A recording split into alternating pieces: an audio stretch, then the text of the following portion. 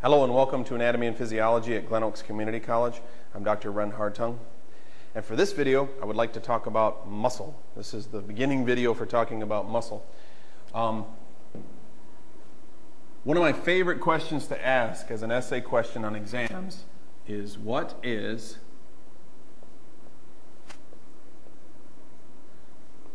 and why do you have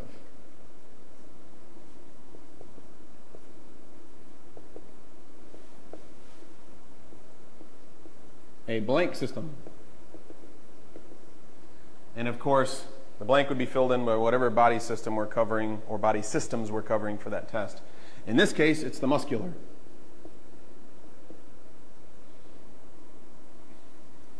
So first of all, what is it? It's all muscle tissue.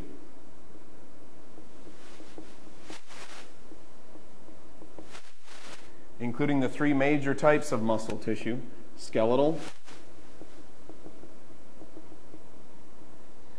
and skeletal muscle is attached usually to bones, and those are the muscles that help us move the bones.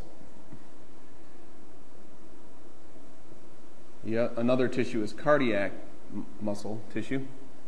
Cardiac muscle tissue is only found in the heart, and its major job is to pump the blood. And then lastly, there's smooth muscle.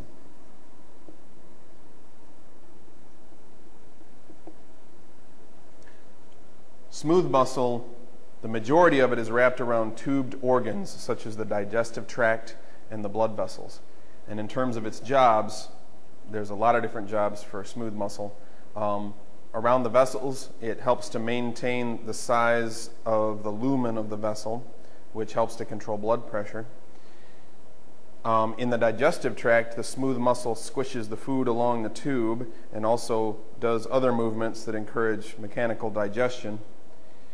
And on your skin, there's smooth muscle that makes up the arrector pili muscles, which give us the goosebumps and make our hairs stand on end. So that's what it is tissue wise. And then also name some muscles. Um, so you might mention includes muscles like the, and then pick your muscles that you want to do, maybe biceps brachii, uh, brachioradialis, rectus abdominis, pectoralis muscles. Just name some of the muscles so that I know that you get what this system is.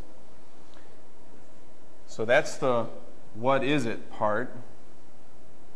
And I'm going to erase this to give myself room and then go to the why do you have one part.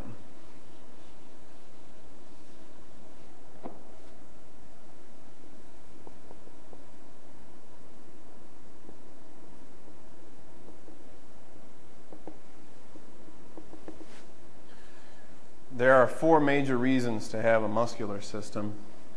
The first one is the first one that comes into my head, and that's movement.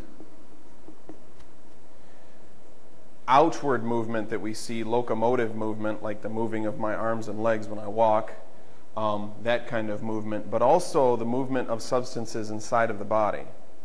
As I mentioned earlier, cardiac muscle's job is to pump the blood so without that muscle, you wouldn't get blood moving around the body. Um, smooth muscle also does movement. It moves the food along the digestive tract, as I mentioned earlier. It moves the hairs on your skin to be erect. So, movement.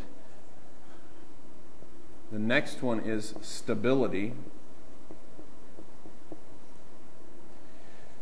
I can move my arm because of the muscles, and then I can cause my arm to hold still I can stabilize it by contracting muscles to keep it still. When you stand erect, you, you contract muscles to keep the skeleton stabilized. And you can imagine what would happen if you just decided to stand up and then relax all of your muscles. You start to fall, but ow. Be careful because that hurts. Um, so, stability. To control openings What comes into my head here are sphincters. These are circular bits of muscle wrapped around the digestive tract and the urinary tract. And the sphincters can close to prevent a substance from moving along the digestive tract. Um, for example, the top of your stomach has a cardiac sphincter or gastroesophageal sphincter. And that sphincter at the top of the stomach, its job is to prevent acidic stomach contents from coming up into the esophagus. If that sphincter does not work right, then acidic contents will come up into the esophagus and cause esophagitis. It's called gastroesophageal reflux, reflux disorder. Um, for the urinary tract, there are sphincters at the base of your bladder that prevent you from peeing your pants. And at the end of the digestive tract and the anus, there's sphincters, and you probably get the point. Okay, so controlling openings.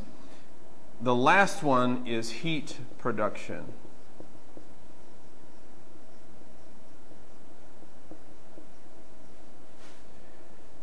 Humans are warm blooded animals. We require a core temperature, the in, very deep inside of the body. The temperature should be around 100 degrees Fahrenheit. And usually the air outside is cooler than that. So we need a heat source to maintain that 100 degrees. That major heat source is the muscular system. So those are the four main reasons to have a muscular system. And I already explained what it was earlier. So as long as you paid attention and maybe took some notes, you should be able to answer that essay question pretty good. As always, if there's any questions or comments you'd like to make, please feel free to call me or email me. And thank you very much for watching.